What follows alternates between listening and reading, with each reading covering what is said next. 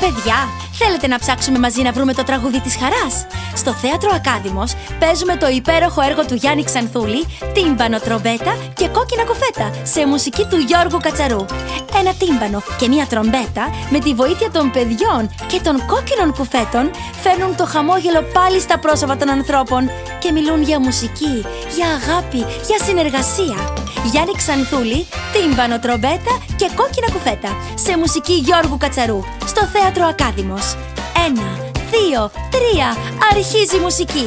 Από τη θεατρική σκηνή Μίμηση Πράξης.